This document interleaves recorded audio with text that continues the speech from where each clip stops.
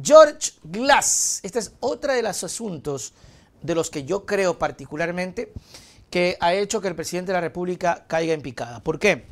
Porque ya hemos visto y hemos cansado hasta la saciedad de mostrarles a ustedes la persecución que se ha dedicado a hacer desde la época de Moreno, incluso hablando del documental, vayan a ver el documental que está muy chévere, muy entretenido, además que te dice la plena. ¿Se acuerdan la misión de Trujillo? Hay que descorreizar el Ecuador, hay que destruir a los correístas. Y supuestamente lo hicieron. ¿Y qué país nos dejaron? Nos dejaron un mejor país. Porque créanlo, mis queridos amigos, que yo lo entendería al señor Moreno, yo entendería al señor Trujillo y a todo lo que hicieron. Si después de eso, después de Moreno, puchica, nos encontramos con un país bacán, de oportunidades, de paz reales. Yo los entendiera, yo dijera, sí es verdad, tienen razón. Estos correístas fueron.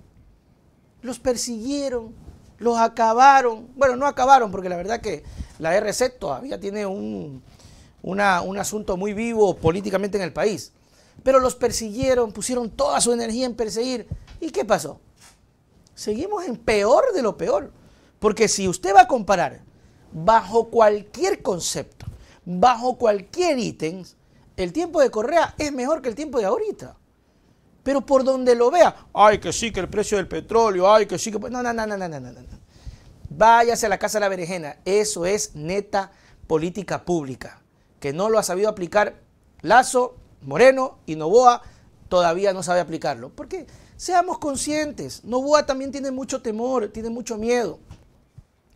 Pero claro, para ejecutar este tipo de acciones, no les tiene miedo. Nuevamente se le quitó los derechos políticos al señor Jorge Glass. Estas son las noticias que les, les encanta a cierto grupo político, ¿no? Ay, qué lindo, qué hermoso.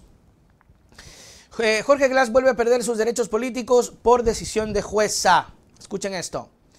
La jueza de la unidad multicompetente de Yaguachi, Carly Vargas Alvarado, Carly, revocó las medidas cautelares a favor del ex vicepresidente de la República, Jorge Glass, las mismas que habían sido dictadas por el juez John Rodríguez Mindiola. Esto el 9 de junio del año pasado. La decisión de la jueza Vargas, eh, que se conoció el 18 de marzo, deja sin efecto la restitución de los derechos políticos de participación, de elegir y ser elegido, y a participar en asuntos de interés público eh, del ex mandatario, lo que había ordenado el juez antecedido, que creo que lo habían sancionado si no me equivoco. Para esta decisión, la juez invocó las resoluciones judiciales que refieren a la violación de derechos fundamentales, ha cesado en su totalidad.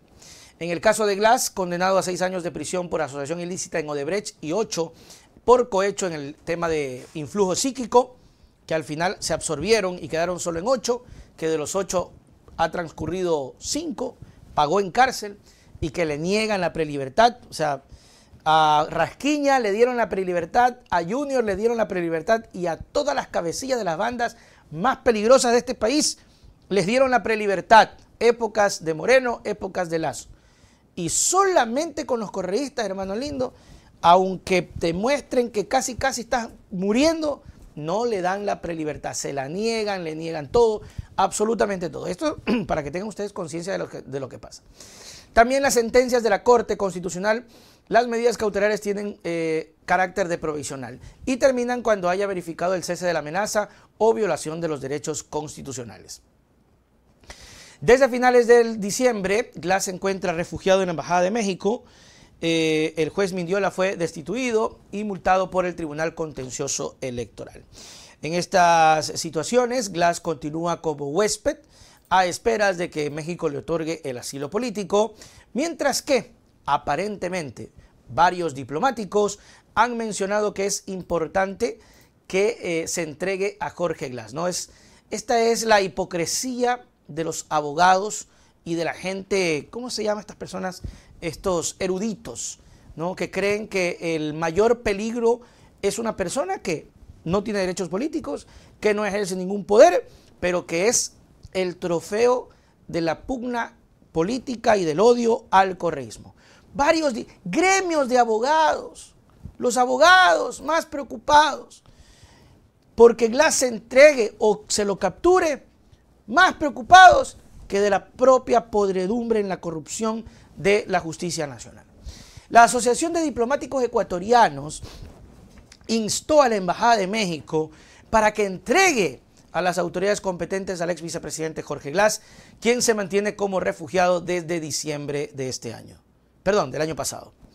El gremio que agrupa a miembros del Servicio del Exterior formuló una solicitud a través de un comunicado público considerando que han transcurrido tres meses de ilegal permanencia del señor Glass en la sede de México. Oiga, dígame si esto no es, dígame si esto, o sea, estas personas, que yo me imagino que son personas respetables, no levantan una sílaba para reclamar, por ejemplo, una, una, situación que de verdad afecta a la gran mayoría de los ecuatorianos, que es la seguridad, hoy en día venida menos, y la salud. Hablemos de la salud, ya, para que no se diga de la seguridad, porque alguien me puede decir, no, pero Nelson, acá sí hay militares. Bueno, si quieres vivir engañado, vive engañado. Si quieres vivir como idiota, vive como idiota.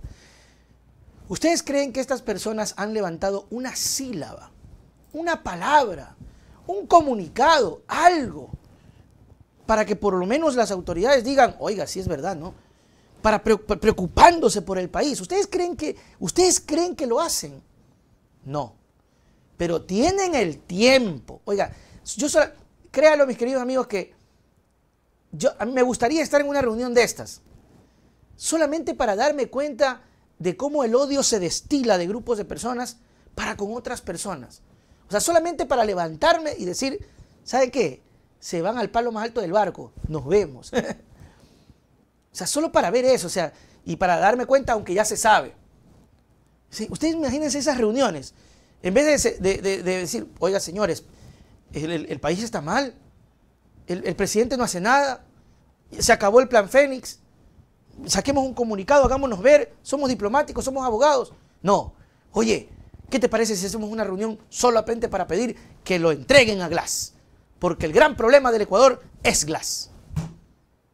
Si Glass era el problema del Ecuador y ya lo metieron preso hace cinco años, ¿por qué el país no está mejor? ¿Por qué el Ecuador no está mejor? Si Correa era lo peor de este país, y Correa ya no está en el poder hace siete años. ¿Por qué este país no está mejor que la época de Correa? Que alguien me explique. Bueno, yo se lo he explicado muchísimo. Simplemente que no nos paran bola. Pero me importa un pepinillo. Aquí la seguimos con ustedes y con la gente que sí quiere tener ese despertar. Lamentable, pero cierto. Se acabó.